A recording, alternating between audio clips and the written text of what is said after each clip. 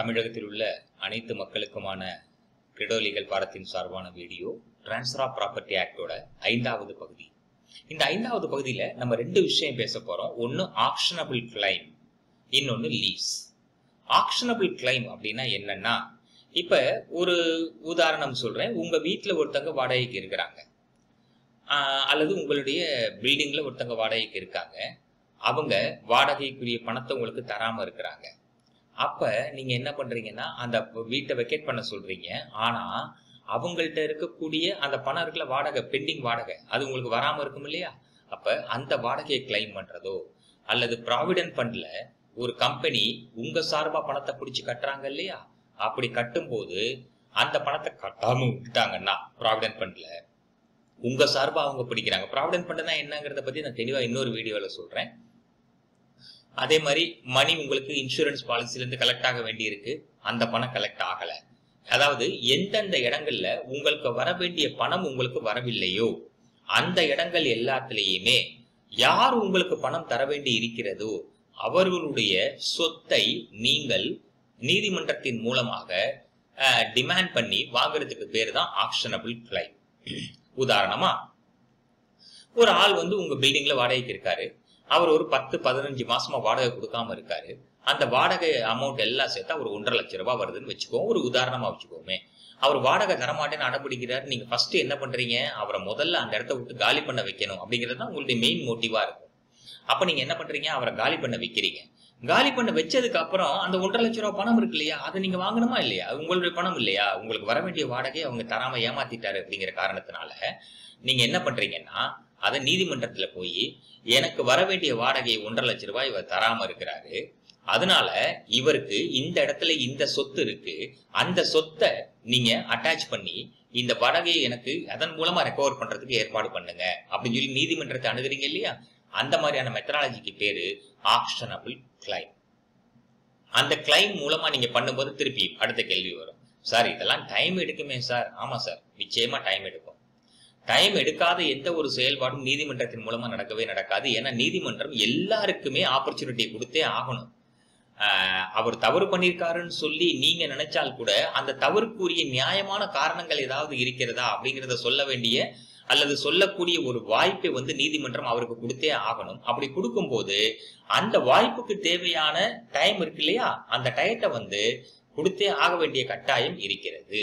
அதனால actionable claim பொறுத்த வரைக்கும் நீங்க உங்களுக்கு வர வேண்டிய பணத்திற்கு ஈடாக ஒரு சொத்தை அவருடைய சொத்தை நீதிமன்றத்தின் மூலமாக வாங்குவதற்கு பெயர் ஆக்ஷனபிள் கிளைம் ரைட்டா அடுத்தது லீஸ் நான் ரெண்டு பகுதி சொல்லியிருக்கேன். ஒன்னு ஆக்ஷனபிள் கிளைம் இன்னொன்னு லீஸ் லீஸ்னா என்ன? ஓனர்ஷிப் அப்படிங்கிறது ஒன்று இருக்கு. பொசஷன் அப்படிங்கிறது ஒன்று இருக்கு. ஓனர்ஷிப்னா என்ன? ஒரு ப்ராப்பர்ட்டி உங்க பேர்ல இருக்குது. அதாவது அதோட சொத்து ஃபுல்லா உங்க பேர்ல இருக்குது அப்படின்னா அதற்கு பேர் ஓனர்ஷிப் ஆனா அந்த ப்ராப்பர்ட்டியில நீங்களே தான் இருக்கணும் அல்லது நீங்களே தான் என்ஜாய் பண்ணணுங்கிற நெசசிட்டி இல்லை. நீங்க என்ன பண்ணுவீங்க? அந்த ப்ராப்பர்ட்டியை வாடகைக்கு கொடுப்பீங்க அல்லது குத்தகைக்கு கொடுப்பீங்க. இந்த குத்தகைக்கு கொடுக்கறதோ வாடகைக்கு கொடுக்கறதுக்கு பேரு லீஸ் அப்படின்னு சொல்லி பேரு. நார்மலா இதுல மூணு விஷயங்கள் கம்பல்சரியா இருக்கணும். ஒன்னு குறிப்பிட்ட கால வரையறை ஒரு லீஸ்ல இருந்தே ஆகணும். அந்த குறிப்பிட்ட கால வரையறை இல்லை அப்படின்னா அந்த லீஸ் செல்லுபடி ஆகாத ஒரு லீஸா மாறும். நீங்க நார்மலா பாப்பீங்க ஒரு ரெண்டல் அக்ரிமெண்ட் போட்டா பதினோரு மாசம் போடுவாங்க லீஸ் போட்டா அஞ்சு வருஷம் ஏழு வருஷம் போடுவாங்க. நீங்க அக்ரிமெண்ட்டை பார்த்தாலே உங்களுக்கு தெரியும். அப்ப அந்த கால வரையறை நிர்ணயிக்கப்பட்டிருக்க வேண்டும். எந்த பீரியட்ல இருந்து எந்த பீரியட் வரைக்கும் இந்த லீஸ் செல்லுபடி ஆகும் அப்படிங்கிறதுக்கு பேரு டேர்ம் அந்த டேர்ம் கம்பல்சரிலி இருக்கணும். அடுத்தது அந்த டேர்ம் நீங்க மென்ஷன் பண்றீங்க இல்லையா? அத யார் அந்த சொத்துல போய் அனுபவிக்க போறாங்களோ? நல்லா கவனிச்சுங்க சொத்தோட உரிமையாளர்ல. சொத்தை அனுபவிப்பதற்காக அதாவது ஒரு குறிப்பிட்ட காலத்திற்கு சொத்தை நீ அனுபவித்துக் கொள்ளலாம் அப்படின்னு சொல்லி நீங்க கொடுக்குறீங்க இல்லையா? அதற்கு பேர் தான் லீவ்ஸ் அந்த அனுபவிக்கிறார் இல்லையா சொத்தை? இப்ப உங்க வீடை நீங்க இன்னொருத்தருக்கு வாடகை கொடுக்குறீங்கன்னா அந்த வீட்டுல அவர் தானே இருக்காரு. அவர் தானே கம்ப்ளீட்டா என்ஜாய் பண்றாரு. அப்ப அந்த பீரியட்ல அவர் வாடகை கொடுத்துட்டு இருக்கும் போது அதற்குரிய எல்லா விதமான இதையும் செய்யறதுக்குரிய வழி இது வந்து அவங்களுக்கு இருக்குங்கிறதுனால அது அந்த ஆள் ஒத்துக்கணும். அதை செய்யறதுக்கு அவர் ஒத்துக்கணும். அவர் ஒத்துக்காம இருக்க இருந்தால் அது வந்து செயல்பாடுகள்ல தவறா மாறிடும். மூணாவது அந்த சொத்தை அவர் என்ஜாய் பண்றதுக்கு ஒன்று வாடகையாக ஒரு அமௌண்ட்டை கொடுக்கணும். அப்படி இல்லைன்னா குத்தகையாக ஒரு அமௌண்ட்டை கொடுக்கணும். இது நடக்கலைன்னா இந்த லீவ்ஸ் செல்லுபடி ஆகாது. இப்ப லீஸை பத்தின ஜெனரலான இன்ஃபர்மேஷன் சொல்லிட்டேன். இப்ப வீட வாடகை வீட்டையோ குத்தகைக்கோ வாடகைக்கோ கொடுக்குறாரு இல்லையா? அவருடைய கடமைகள் என்ன? அப்படிங்கறத சொல்றேன். அடுத்து குத்தகைக்கு எடுக்கக்கூடியவரோட கடமை என்ன? அப்படிங்கறத சொல்றேன். குத்தகைக்கு கொடுக்குறாரு இல்லையா? அவருக்கு மூன்று முக்கியமான கடமைகள் இருக்கு. ஒண்ணு என்னன்னு சொல்லி கேட்டா அந்த சொத்து சம்பந்தப்பட்ட அனைத்து விதமான விவரங்களையும் அவர் தெரிவிக்க வேண்டிய கடமை இருக்கிறது. யாருக்கு? யார் அந்த சொத்தை அனுபவிக்க போறாரோ அவருக்கு இந்த சொத்து சம்பந்தப்பட்ட அனைத்து விதமான இன்ஃபர்மேஷனையுமே அவர் கொடுத்தே ஆகணும். கொடுக்காம இருந்தால் அது சட்டப்படி தவறு. ரெண்டாவது அவரு அந்த இடத்துல உள்ள போறதுக்கு அந்த இப்ப ஃபார் எக்ஸாம்பிள் வீட்டை வந்து நீங்க வாடகை கொடுக்குறீங்க. ஏற்கனவே வேற ஒருத்தர் வாடகைக்கு இருந்தவர் அந்த வீட்டை விட்டு காலி பண்ணாம இருக்காருன்னு வைங்களேன். அப்ப இவர் பாவம் உங்கள்ட்ட அட்வான்ஸ் கொடுத்துருவாரு. கொடுத்ததுக்கு அப்புறம் இவர் வீட்டுக்குள்ள போகலாம்னு நினைக்கும் போது அங்க வேற ஒருத்தர் உட்கார்ந்துருந்தாருன்னு வைங்களேன். அப்ப அது இடைஞ்சலா தானே இருக்கும். அதனால அந்த வீட்டை அல்லது சொத்தை அசையாத சொத்தையோ நீங்க லீஸுக்கு கொடுக்கும்போது யார் அந்த இடத்துல போறாங்களோ அவங்களுக்கு தேவையான சுத்தமான எல்லா விதமான இதையும் கொடுத்து ப்ராப்பரா அதை ஹேண்ட் ஓவர் பண்ணணும். மூணாவது அவர் அந்த சொத்தை என்ஜாய் பண்ணிட்டு இருக்கும்போது தேவையில்லாம டிஸ்டர்பன்சஸ் எதையுமே பண்ணக்கூடாது. லீசர் இப்ப சொத்தை வந்து ஒரு குறிப்பிட்ட கால வரையறைக்கு என்ஜாய் பண்றதுக்காக வாங்குறாருல அவருக்கு பேரு லெசின்னு பேரு. அவர் என்ன பண்ணணும் அப்படின்னா அவருக்கு ஒரு அஞ்சு கடமைகள் இருக்கிறது. அதாவது லீசருக்கு மூணு கடமைகள் லீஸ் லீசிக்கு அஞ்சு கடமைகள் இருக்கு. என்ன அப்படின்னா இந்த லீசர் லீசி இருக்கார் இல்லையா? அவரு ரொம்ப தெளிவா சொல்லணும். இந்த ப்ராப்பர்ட்டியை பத்தின இன்ஃபர்மேஷன் எல்லாத்தையும் தெளிவான விதத்துல எடுத்து சொல்ல வேண்டிய கட்டாயம் அவருக்கு இருக்கிறது. அடுத்தது குறிப்பிட்ட கால வரையறைன்னு சொன்னேன் இல்லையா? அந்த கால வரையை முடிஞ்ச உடனே மரியாதையா யார் வந்து அந்த ப்ராப்பர்ட்டியை என்ஜாய் பண்றாரோ அவர் திருப்பி அந்த ப்ராப்பர்ட்டியை லீசர் யாரோ ஒரிஜினல் ஓனர் யாரோ அவர்கிட்ட மரியாதையா ஒப்படைச்சிடணும்.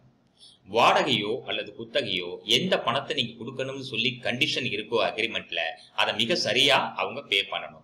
நாலாவது ஒழுங்கா ப்ராப்பர்ட்டியை பாதுகாக்கணும். ப்ராப்பர்ட்டி இஷ்டத்துக்கு வந்து அவங்க செயல்படுத்தக்கூடாது. ப்ராப்பர்ட்டியை ஒழுங்கா பாதுகாக்கணும். அஞ்சாவது என்னென்ன இவங்க இப்ப இப்ப லீசர் வந்து லீசிக்கு வீட்டை வாடகை கொடுத்துருக்காரு அல்லது குத்தகை கொடுத்துருக்காருன்னா இவங்க போய் சில போட்டோஸ் எல்லாம் மாட்டுவாங்க அல்லது வேற ஏதாவது சில செயல்பாடுகள் அந்த பில்டிங்ல அவங்க இருக்கும்போது செஞ்சிருப்பாங்க இல்லையா? அவங்க அங்கேருந்து கிளம்பும் போது அது எல்லாத்தையுமே மிக சரியா எடுத்துக்கிட்டு அந்த இடத்த கிளீன் பண்ணி கொடுத்துட்டு தான் அவங்க போகணும். இந்த கண்டிஷன்ஸ் எல்லாத்தையுமே லீசரும் செய்யணும் லீசியும் செய்யணும். நார்மலா இப்ப கடந்த சமீப காலங்கள்ல நீங்க பாத்தீங்கன்னா அந்த கொரோனா பீரியடுக்கு அப்புறம் பாத்தீங்கன்னா லீஸ் அக்ரிமெண்ட் போட்டிருந்த நிறைய பேர் வந்து கோர்ட் அணுக வேண்டிய கட்டாயத்துக்கு தள்ளப்பட்டிருக்காங்க. ஏன்னா குறிப்பிட்ட கால வரையறை தாண்டினதுக்கு அப்புறமும் லீசி லீசர்ட் இருந்து வர வேண்டிய பேமெண்ட்டை வாங்க முடியாம கஷ்டப்பட்டுட்டு இருக்காங்க. இவங்க எல்லாருமே வந்து கொரோனா சம்பந்தப்பட்ட விஷயம் அப்படிங்கிற காரணத்தினால கொரோனானால என்கிட்ட பணம் இல்லை அல்லது நான் இப்ப கொடுக்க முடியாது அப்படிங்கிற மாதிரியான சில குளறுபடிகள் போயிட்டு இருக்கு இப்ப. இதுக்கு மிக முக்கியமான காரணமே என்னன்னு சொல்லி கேட்டீங்கன்னா வந்து ஒரு தெளிவான புரிதல் இல்லாமல் ஒரு அக்ரிமெண்ட்டை சைன் பண்றாங்க. இப்ப எங்கள்கிட்டயே வரக்கூடிய சில வழக்குகள் பாத்தீங்கன்னா வந்து தெளிவான புரிதல் இல்லாம ஒரு வேகத்துல எல்லாருமே அக்ரிமெண்ட் சைன் பண்ணிடுறீங்க எப்பயுமே லீஸ் அக்ரிமெண்ட் சைன் பண்ணீங்கன்னா தயவு செய்து ரெண்டல் அக்ரிமெண்டா இருந்தால் பதினோரு மாதம் நீங்கள் போடுவீங்க. அதில் மிகப்பெரிய குழப்பங்கள் எதுவும் வர்றதுக்குரிய பாசிபிலிட்டி ரொம்ப ரொம்ப கம்மி. ஆனால் இந்த லீஸில் எடுக்கிறீங்க பார்த்தீங்களா குத்தகைக்கு எடுக்கிறீங்க பார்த்தீங்களா ஒரு ப்ராப்பர்ட்டியை அதில் மிக மிக ஜாக்கிரதையாக நீங்கள் செய்ய வேண்டிய விஷயங்கள் இருக்குது நல்லா கவனிச்சுக்குங்க.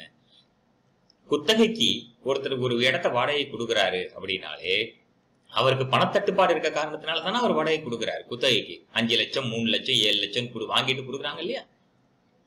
அவங்களுக்கு பணத்தட்டுப்பாடு இருக்குங்கிற காரணத்தினாலதான் அதை கொடுக்குறாங்க.